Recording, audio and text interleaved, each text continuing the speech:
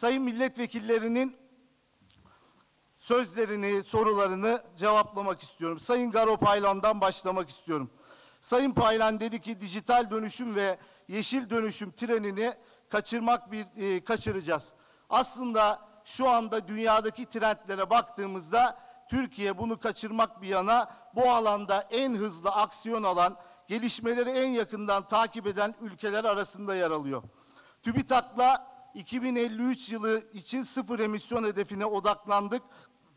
Destek programlarımızda yeşil konusuna öncelik verdik. 2021 yılının ilk yarısında desteklediğimiz araştırma projelerinin üçte birinden fazlası bu konulara yönelik. Ufuk 2020 programının yeşil mutabakat çağrısı kapsamında 1550 proje sunuldu. Bu tüm Avrupa Birliği projelerinden bahsediyorum.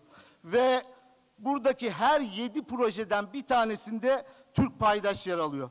Bireysel genç girişimci programı desteklerimizde yeşil mutabakata uyum alanında son 5 yılda kurulan girişim sayısı 188. Yine son 5 yılda yeşil dönüşüm alanında sanayiye 307 milyon lira, üniversitelerimizde ise 309 milyon lira hibe aktardık. Bunların yanında sadece AB işbirliğiyle otomotivden makineye, tekstilden derin teknolojilere 60 milyon avroluk 9 dijital dönüşüm projesi yürütüyoruz. Aslında yeşil mutabakat alanına baktığınızda Avrupa Birliği'nin bile kafasının hala karışık olduğunu görüyoruz. Kendileri regülasyonları tam anlamıyla oturtmadılar. Neler yapacaklarının farkında değiller. Ama bizim sanayimizdeki farkındalık gerçekten fazla. Şu an bütün firmalarımız emisyonlarını nasıl azaltırız, nasıl geri dönüşlü enerjiden enerji üretebiliriz, atıklarımızı nasıl değerlendirebiliriz büyük bir çaba içerisinde ve biz bunların tamamına da rehberliği bakanlık olarak biz yapıyoruz. Yine Sayın Paylan Teknofest bir savaş festivaliydi dedi. Ben gerçekten bu ifadesi için üzüldüğümü ifade etmek istiyorum. Ve Yeşilköy'de oturduğunu söyledi. Keşke Yeşilköy'de otururken oradan bir 15 dakikasını ayırıp Teknofest'e katılsaydı oradaki gençlerin projelerini, orada yapılan işleri şahitlik etseydi. Bakınız Teknofest şu anda dünyadaki en fazla sivil teknoloji alanında yarışmalar yapılan bir teknoloji festivali. Ve sadece sivil alanda yapılan yarışmaların isimlerini saymak istiyorum. Teknofest kapsamında yapılan yarışmalar. İnsanlık yararına teknoloji yarışması, tarım, eğitim, iletişim, turizm, çevre ve enerji teknolojileri yarışmaları, Efficiency Challenge elektrikli araç yarışları, otonom araç yarışması, sanayide dijital teknolojiler yarışması, akıllı ulaşım yarışması, sağlıkta ve ulaşımda yapay zeka yarışması, model uydu yarışması, Take-off Uluslararası Girişim Zirvesi ve Biyoteknoloji İnovasyon Yarışması. Sayın Paylan, bu sene bu yarışmalara 111 farklı ülkeden 200 binin üzerinde genç başvuru yaptı. Bu gençlerin tamamı ortaokul, lise, üniversite çağında gençler ve hepsi bu alanlarda geleceğin teknolojilerine dönük neler yapabiliriz? Bunlarla ilgili bu yarışmalara katıldılar. Siz festivalin son dört gününde yapılan uçak gösterilerinden buna bir savaş festivali diyorsunuz. Bu gerçekten kabul edilebilir bir şey değil. Sadece bir hikaye anlatmak istiyorum.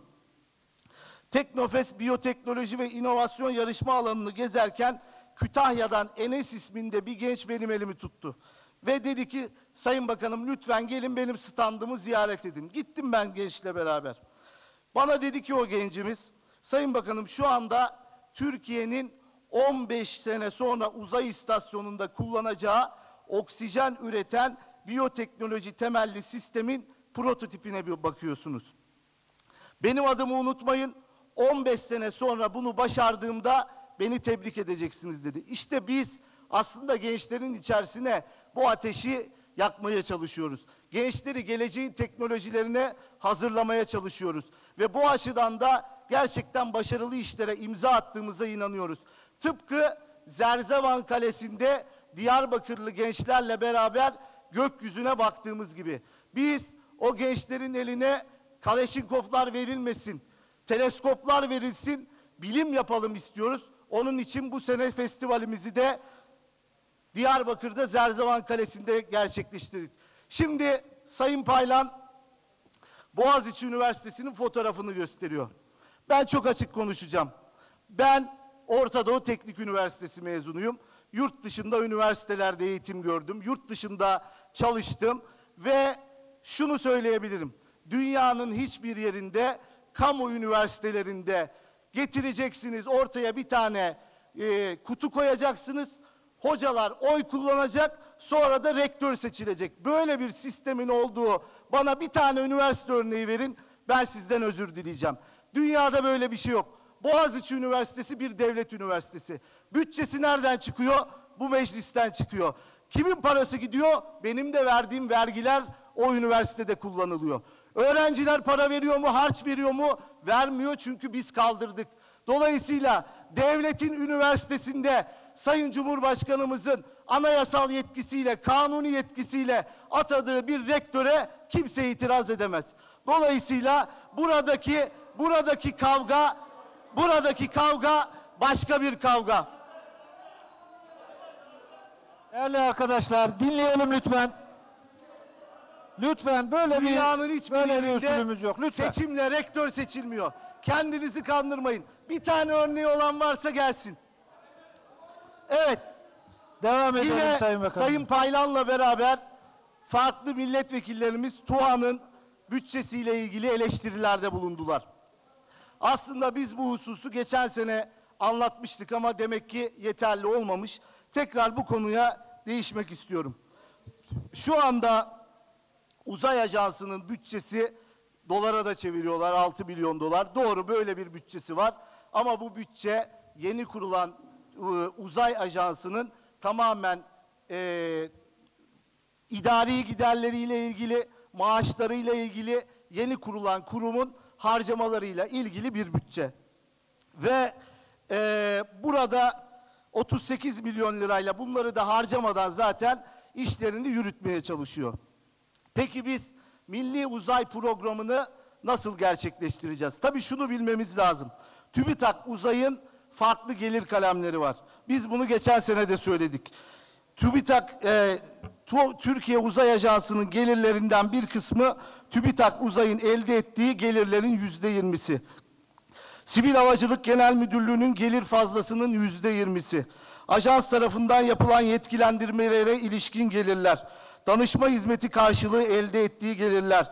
Buluşlardan doğan haklara ilişkin elde ettiği gelirler.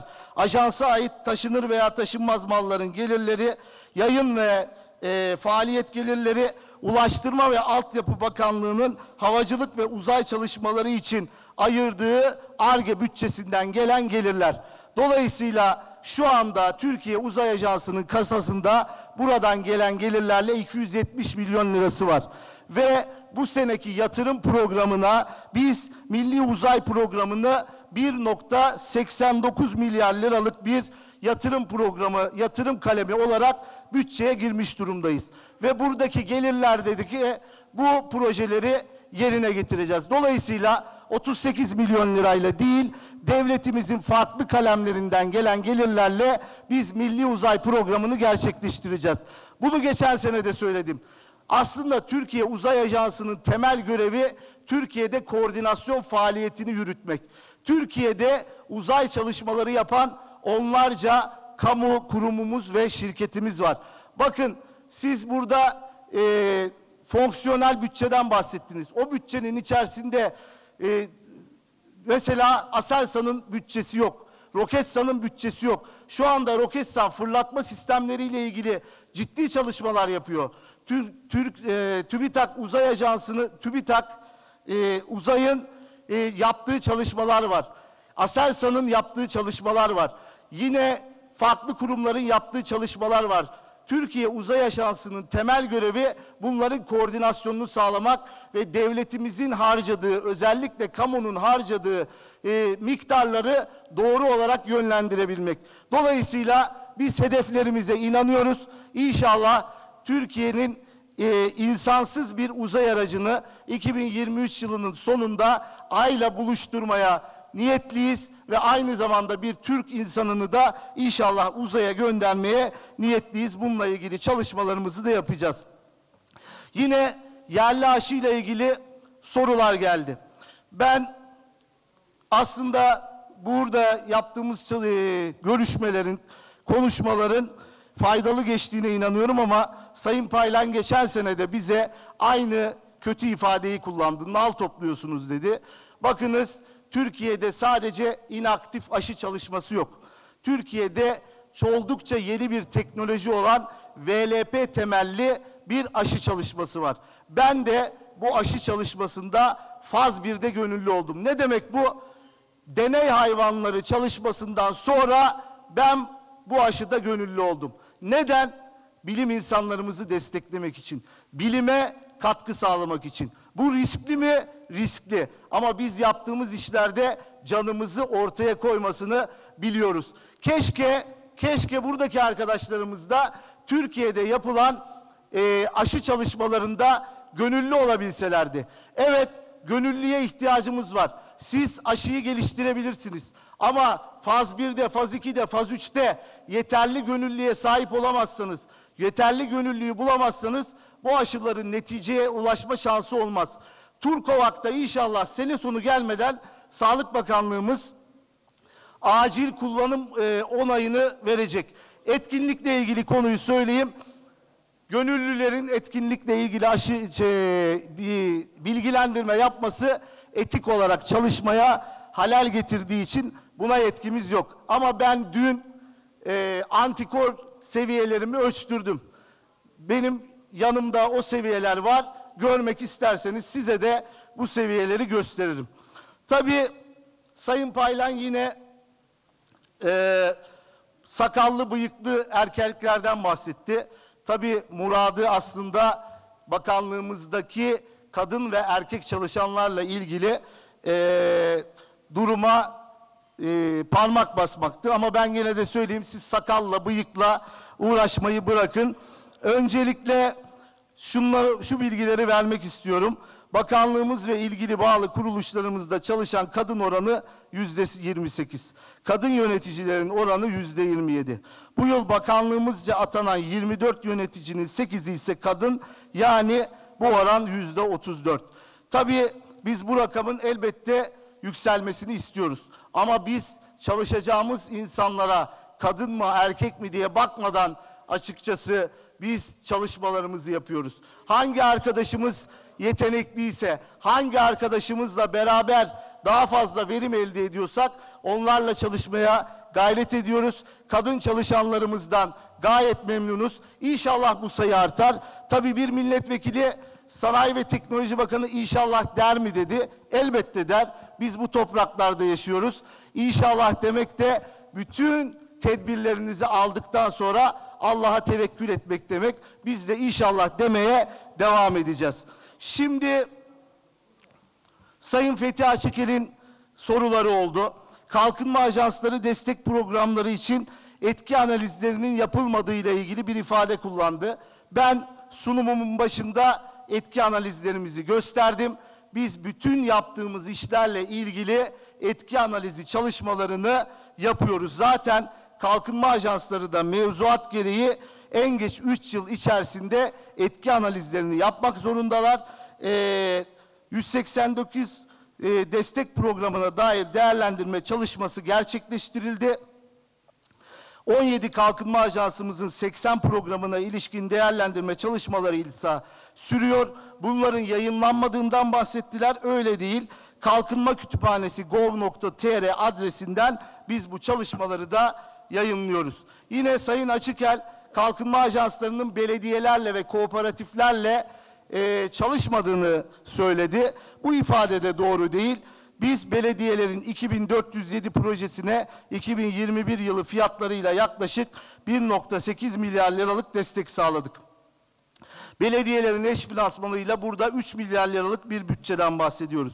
Yine 279 kooperatifimizin projesini de 2021 yılı fiyatlarıyla 163 milyon liralık destek sağladık. Yine bilimsel yayınlarla ilgili bir eleştirisi oldu Sayın Açıkel'in. Evet, dedi ki bilimsel yayın sayıları artmakta ancak kalitesi düşmektedir. Bu ifade de doğru değil. Bilimsel yayınlarımızın sayısı arttı. Ülkemiz toplam yayın sayısına göre 2020 yılında 43 bin yayınla dünyada 17. sırada. Ancak bu yayınların kalitesi de düşük değil. Ülkemiz kaynaklı yayınların yaklaşık yarısı en fazla atıf alan yüzde ellilik dilimde yer alıyor. Türkiye'den çıkan yayınlara yapılan atıf sayısı da son 10 yılda yaklaşık yüzde 216 artmış durumda. Lütfen bilim insanlarımıza haksızlık etmeyelim diyorum. Peki yatırım ortamıyla ilgili bazı ifadeler farklı milletvekillerimiz söyledi. Uluslararası doğrudan yatırımlarla ilgili duruma baktığımızda 1975-2021 2001 yıl döneminde uluslararası doğrudan yatırımların sadece 14 milyar dolar olduğunu görüyoruz. Biz göreve geldiğimizden bu yana kümülatif tutar yani uluslararası doğrudan yatırımlar 233 milyar doları geçti. Yani 17 kat artmış durumda. 2002 yılına kadar ülkemize yılda ortalama 518 milyon dolar yabancı sermaye gelirken göreve gelmemizle birlikte bunu da 21 kat arttırarak 12 milyar dolara çıkardık. Peki dünyada durum ne? Türkiye kötüye mi gidiyor? E, hayır, bu ifadeyi de biz doğru bulmuyoruz. Yılın ilk yarısında dünya genelinde uluslararası doğrudan yatırımlar bir önceki yıla göre yüzde 43 artarken bu oran yüz, Türkiye'de yüzde 56. Yani durum hiç bahsedildiği gibi değil. Peki Sayın Açıkel'in 5G ile ilgili bir sorusu oldu. Ben bu soru için çok teşekkür ediyorum. Aslında Türkiye'de 5G teknolojileriyle ilgili çok ciddi çalışmalar yapıyor. Bu vesileyle de bunlardan bahsetme fırsatı bulacağız. Türkiye'nin yabancı bir 5G teknolojisini tercih ettiği ifadesi doğru değil. Şu anda dünyada 5G teknolojileri alanında ciddi bir yarış var. En önde giden ülke Çin, bunu söyleyebiliriz. Ee, ama biz de yerli ve milli olarak 5G teknolojilerinin geliştirilmesiyle ilgili bir inisiyatif aldık. 5G ve ötesi teknolojiler için öncelikle bir yol haritası hazırladık ve haberleşme teknolojileri kümelenmesinin 140 milyon liralık yerli ve milli 5G donanım yazılım geliştirme projesine TÜBİTAK olarak katkı sağlıyoruz ve burada da 5G'de kullanılabilecek core teknolojilerin bazıları şu anda üretilmiş durumda. Bunlarla ilgili testleri de sunumları da biz kamuoyuyla paylaştık. Sera Hanım'ın bir e, TÜBİTAK'la ilgili eleştirisi oldu. TÜBİTAK 1001 ile aylık 20 bin TL proje desteği veriyor. Harvard'dan dönmüş doktoralıya 4500 lira maaş veriliyor dendi. Sayın e, Sera Kadıgil hanımefendi TÜBİTAK'ın gitmiş en düşük projeli bütçesini bulmuş, onun üzerinden eleştiri yapmış. Öncelikle 1001 destek programında bizim başlangıç programlarımız arasında yer alıyor. Proje teşvik ikramiyesi de kurum hissesi dahil olunca 720 bin lira değil 1 milyon lira. Ee, tabii biz akademik ve e, sanayi destek programlarıyla 26 farklı destek programı uyguluyoruz ve bizim projelerimizde 50 milyon liraya kadar bütçe verdiğimiz projeler de var. Dolayısıyla burada en düşüklüğü seçip e, buradan eleştiri yapmayı biz haklı bulmuyoruz. Harvard'da doktora yapıp Türkiye'ye dönmüş kişilere 4500 lira maaş verildiği iddiası da doğru değil. Biz zaten maaş vermiyoruz. Biz araştırmacılara burs veriyoruz. 4500 lira da burada verilen en alt limittir. Şu anda yurt dışından dönüp 26 bin liraya kadar bizden burs alan araştırmacılar mevcuttur. Tahsin Bey'in, Tahsin Tarhan Bey'in tanıtma giderlerimizle ilgili bir eleştirisi oldu. Onu düzeltti. Biz tanıtma giderlerimizi gerçekten harcamıyoruz. Yani bize verilen bütçenin belki e, yüzde yirmisini, yüzde otuzunu harcıyoruz. Dolayısıyla o eleştiriyi zaten kendileri geri çektiler. Peki şöyle bir ifade kullanıldı. Destek ve teşviklerinizde tarafsız davranılmıyor yandaşlara destek ve teşvik veriyorsunuz. Bunu aslında her sene bu eleştiriyle karşılaşıyoruz. Her sene buna dilimiz döndüğünce cevap vermeye çalışıyoruz. Bizim destek ve teşvik süreçlerimizin neredeyse tamamı elektronik ortamda geliş, e, yapılıyor. Ve verdiğimiz desteklerin önemlileri, mesela teşviklerimizin tamamı resmi gazetede yayınlanıyor. İki sene önce Dünya Gazetesi'nden dediler ki Sayın Bakanım, verdiğiniz teşvikleri ve iptal edilen teşvikleri yayınlıyorsunuz ama hayata geçen teşvikleri yayınlamıyorsunuz. Onları da yayınlayalım dedik. Şu anda hayata geçen teşvikleri de yayınlıyoruz. Bizim bütün süreçlerimiz şeffaf. Dolayısıyla kimseyi kayırmıyoruz. Sayın Vekilim destek alamadığını iddia ettiğiniz kimse getirin bir projesine bakalım neden destek alınmamış biz size bu bilgileri verelim. Bir milletvekillerimiz burada koça e, ayrımcılık yaptığımızla ilgili bir ifadede bulundu. Bakımız e, bizim ayrımcılık yapmadığımızın en güzel göstergelerinden bir tanesi aslında Ford Otosan'ın ürettiği yerli şanzımandır. Bu yerli şanzıman nasıl geliştirildi? TÜBİTAK projesiyle geliştirildi. Peki kimler tarafından geliştirildi? Sanayi ve Teknoloji Bakanlığı'nın verdiği ARGE destekleriyle kurulan Ford Otosan'ın ARGE merkezi tarafından geliştirildi. Ve bunun Türkiye kamuoyuna tanıtımını kim yaptı? Sayın Ayı Koç'la birlikte ben yaptım. Ben Trabzonsporluyum, kendisi Fenerbahçe'nin başkanı. Buna rağmen görüyorsunuz biz ayrımcılık yapmıyoruz. Eskişehir'e gittik, şanzımanı tanıttık ve Ford Otosan'ın daha önce geliştirdiği ürünlerle Türkiye'de yüzde doksanın üzerinde yerliliğe ulaştırdığı bir kamyonunun olmasıyla gurur duyuyoruz. Ve bu projede devletimizin de milyonlarca katkısı var. Biz kimseye ayrımcılık yapmıyoruz. Evet, sanayi istihdamı ile ilgili eleştiriler oldu. Ee, tabii bu eleştirileri de kabul etmemiz mümkün değil. Ben Nisan 2020'den bugüne kadar sanayi sektöründe yapılan kayıtlı istihdamdan bahsettim. Bakınız anket verileriyle ilgili eleştiriler oluyor. İşte TÜİK'le ilgili. TÜİK kötü veri yayınladığında muhalefet bunu destekliyor. İyi veri yayınladığında TÜİK, TÜİK taraflı oluyor. Tabii bunu da kabul etmiyoruz. Ama ben kayıtlı istihdam verileri yani SGK verilerine göre Nisan 2020'den beri Türkiye'de sanayi sektörlerinde 675 bin ilave istihdam oldu. Bunlar üretiyor, katma değer üretiyor ve bu memlekete hizmet ediyorlar. Lütfen buradaki rakamları da görmenizi rica ediyorum. Peki AK Parti'den önce ARGE yok muydu?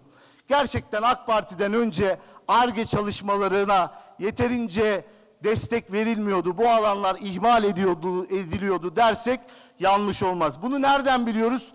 Şu anda 85 teknoparkımız var. 2002 yılında kaç teknopark vardı? Sadece 5 tane. Ve bunların sadece 2 tanesi faaliyetteydi. Biz şu anda 85 teknoparkımızda, faaliyetteki 85 teknoparkımızda ARGE çalışmaları yapıyoruz. Peki işletmelerin kendi bünyelerinde ARGE merkezi ve tasarım merkezi kurmaları uygulamasını kim getirdi? AK Parti iktidarları getirdi. Ve şu anda eğer firmalarımız ARGE harcaması yapıyorsa burada onlara sağladığımız e, imkanlar sayesinde yapıyorlar. Dolayısıyla bizim e, gayretlerimizle binde beş olan ARGE harcaması oranı 1,09'a yükseldi. Ve bu rakamlara ARGE merkezlerinde, teknoparklarda sağladığımız vergisel avantajlar da dahil değil. Bunları dahil ettiğinizde bu rakam çok daha fazla artıyor ve ARGE personeli sayısı da yani tam zamanlı Türkiye'de ARGE yapan e, araştırmacı sayısı da zaten bizim dönemimizde 6 kat artarak 200 bine ulaşmış durumda. Tabii OSB'lerle ilgili çokça sorular geldi. Eleştiriler geldi. Bunların bir kısmını 15 dakika ek süre veriyorum Sayın Kaç? Bakanım. 15 dakika. 15. Bu süre içinde toparlarsanız sevinirim. Biz organize sanayi bölgeleri uygulamasını güncelleyerek çok daha sanayici dostu, çok daha verimli, çok daha yeşil dönüşüme uygun e, üretim alanları haline getirmek istiyoruz. Bunun için de elbette Yüce Meclisimizden bir kanuna ihtiyacımız var ve bununla ilgili olarak da biz kendi iç süreçlerimizi, paydaşlarla e, tartışmalarımızı, neler yaparsak OSB sisteminin üstüne katkı sağlarız, bunlarla ilgili görüşmelerimizi gerçekleştiriyoruz. Ve e, şunu çok açık ve net bir şekilde ifade etmek istiyorum. Evet, Türkiye'de çok başarılı organize sanayi bölgelerimiz var. Ama bunun yanında organize sanayi bölgeleri sistemini kendi çıkarına kullanan, organize sanayi bölgelerini bir ticarethane mantığıyla işleten yerler de var.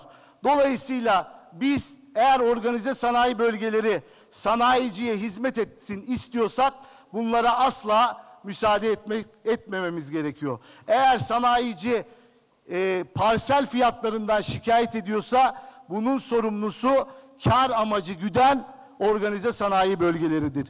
Eğer bugün sanayici yatırım yapacak yer varken yatırımına yer bulamıyorsa bunun sorumlusu sistemi düzgün işletmeyen organize sanayi bölgeleri örnekleridir. Bakın biz sanayicinin üzerindeki yükü almak için AK Parti hükümetleri döneminde ne yaptık?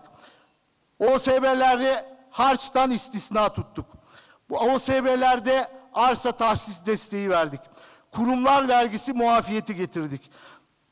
OSB'lerde yatırım yaparsanız bir alt bölgeden faydalanmanızı sağladık. Emlak vergisi OSB'de yatırım yaparsanız ödemiyorsunuz. Damga vergisi ödemiyorsunuz. Yüzde ikilik TRT payını tüm sanayicilerin üzerinden kaldırdık ve OSB'lerin altyapı yatırımlarına KDV, KDV muafiyeti getirdik. Bunun dışında ne yapıyoruz? Organize sanayi bölgeleri arazi ihtiyacı varsa hazine arazilerini kendilerine bedava olarak veriyoruz. Bunun yanında altyapılarını yapmaları için yüzde üç faizle 13 yıllık, 3 yılı geri ödemesiz kredi desteği veriyoruz. Bu aslında bedava para vermek demek. Dolayısıyla biz bu kadar işi yapacağız. Sanayicilerimizin üzerindeki yükü almak isteyeceğiz. Ama organize sanayi bölgeleri sanayicilerden su parasını fazla alacak, elektrik parasını fazla alacak, arsayı fazla satacak, kasasına 500 milyon lira koyacak, onu da götürüp faize koyacak. Ondan sonra da bakanlık paralara göz dikti olacak. Benim kimsenin parasıyla işim yok. Ama organize sanayi bölgeleri lütfen bu paraları sanayici için kullansın. Bunun yolu da eğer bir maliyetten şikayet ediyorsak suyu parayla satıyorsa kasasında 500 milyon olan kuyudan çıkardığı suyu da parayla satmasın. Onlar da elini taşın altına koysun. Çünkü OSB'ler kamu yararını için kurulmuş bölgelerdir. Kamu görevi yerine getiriyorlar. Kar amacı gütmemeleri lazım. Dolayısıyla organize sanayi bölgeleri kanununu evet güncellemek istiyoruz. Grubumuzdaki e, ve e, Cumhur İttifakı'ndaki arkadaşlarımızla bir araya geleceğiz. Sanayi komisyonumuzla bir araya geleceğiz. Kafamızda neler var, ne yapmak istiyoruz bunları ortaya dökeceğiz. Dolayısıyla herkesin faydasına olacak bir kanunu meclisten geçirmeye çalışacağız. Tabii burada OSB'lerden bağış istediğimle ilgili ifadeler kullanıldı. Evet istedim. Bu sel ve yangın afetlerinin olduğu dönemde organize sanayi bölgelerine açık açık şunu söyledim.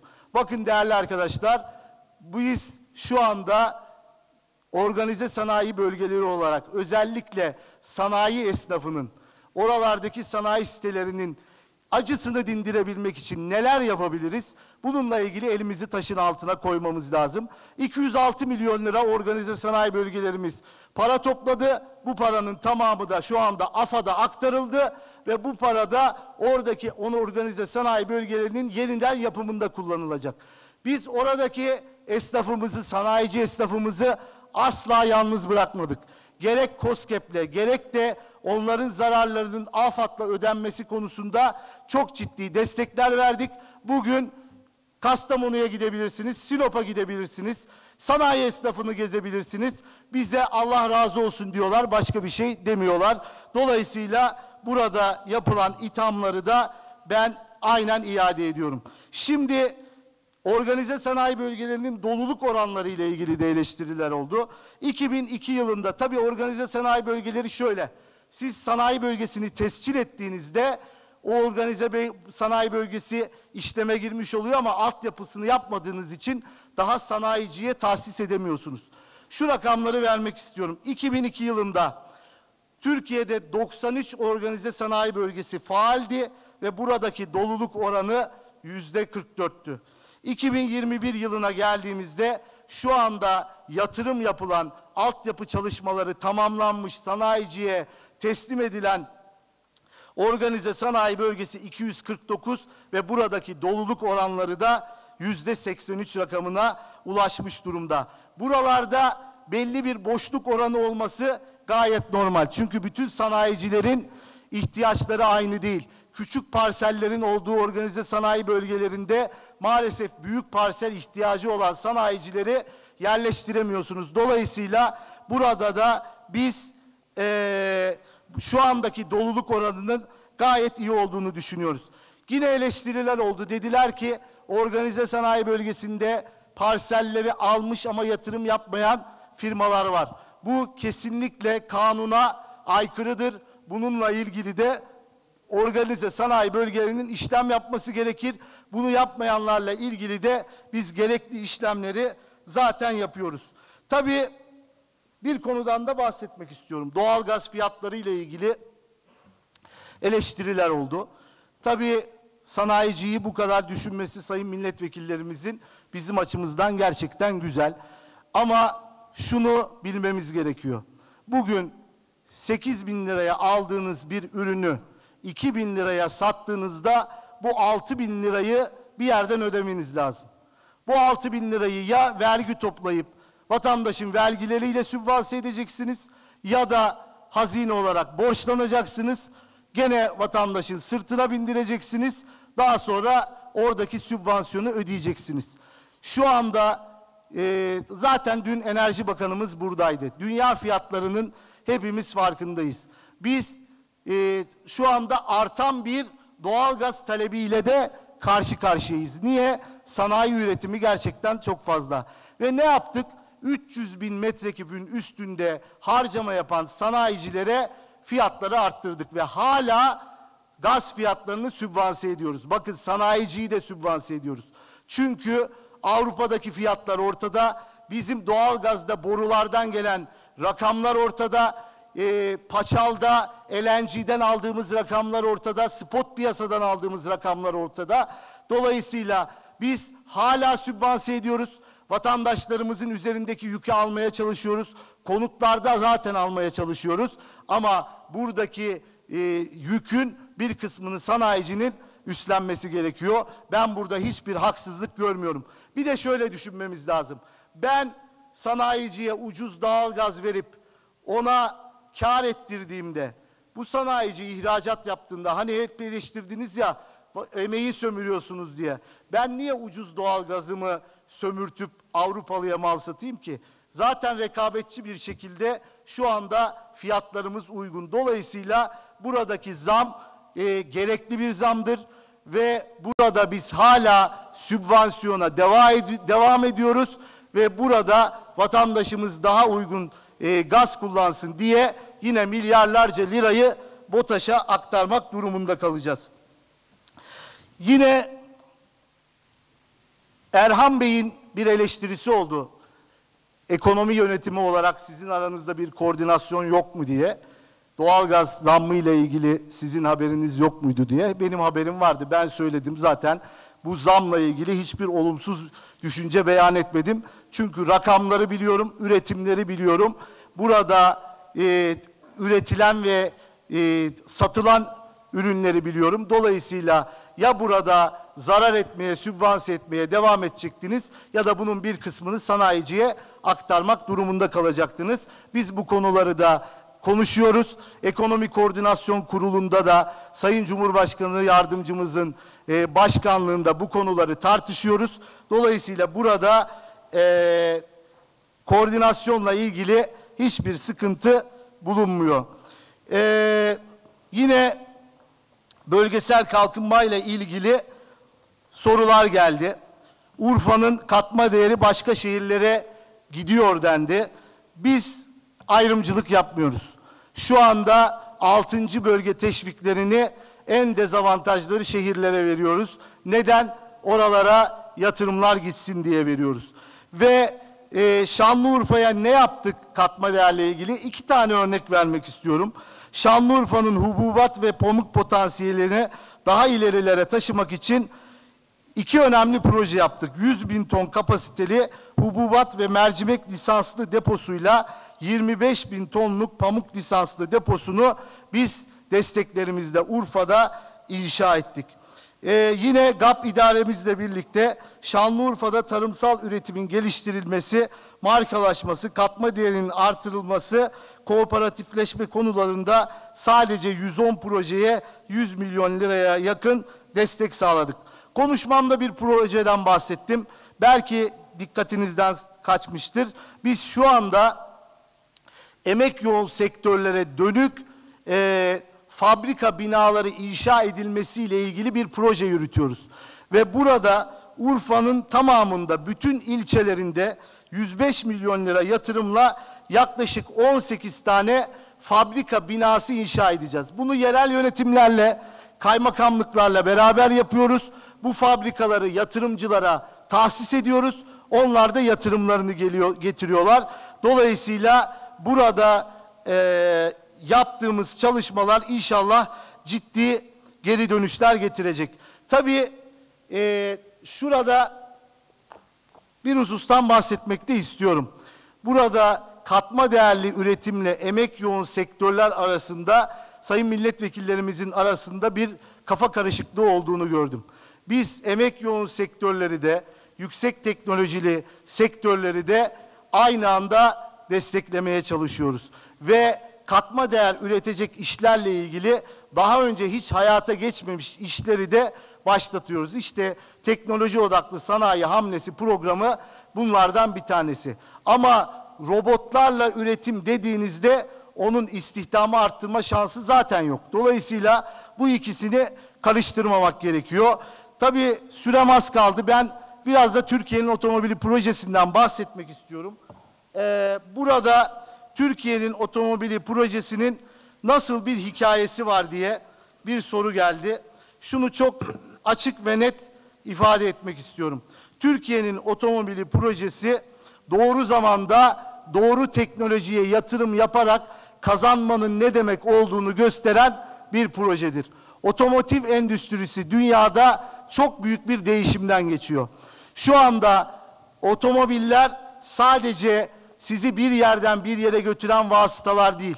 Birer teknoloji cihazı olarak görülüyorlar ve Türkiye'nin otomobili projesini de biz de tam bu şekilde bir ele, doğuştan elektrikli otonom özellikleri olan ve fikri mülkiyet hakları yüzde yüz bize ait olduğu için en ufak bir startup'ın bile getirip teknolojisini entegre edebileceği bir proje olarak başlattık. Ve şu anda hamdolsun, belki hamdolsundan da rahatsız olanlar olabilir. Hamdolsun çok başarılı bir şekilde inşallahtan rahatsız oldular. Çok, Değerli çok, arkadaşlar çok lütfen. çok başarılı bir şekilde devam ediyor ve bu projede şu anda 110 iş ortağı seçildi. Bu 110 iş ortağının yüzde 75'i Türkiye'de yerleşik firmalardan oluşuyor. Savunma sanayi ile startuplardan, Türkiye'deki teknoloji şirketlerinden buralarda çalışanlar var. Şu anda 615 kişi bu projede çalışıyor. Sadece şu örneği vermek istiyorum. TOK projesiyle 27 çok başarılı mühendis yurt dışından Türkiye'ye döndü. İşte biz tersine beyin göçü diyorsunuz ya bu projelerle onları Türkiye'ye çekiyoruz ve onları çekmeye devam edeceğiz. Türkiye'nin otomobili projesi de inşallah 2022 yılının sonunda e, seri üretim bandından inmiş olacak. Ben çok teşekkür ediyorum.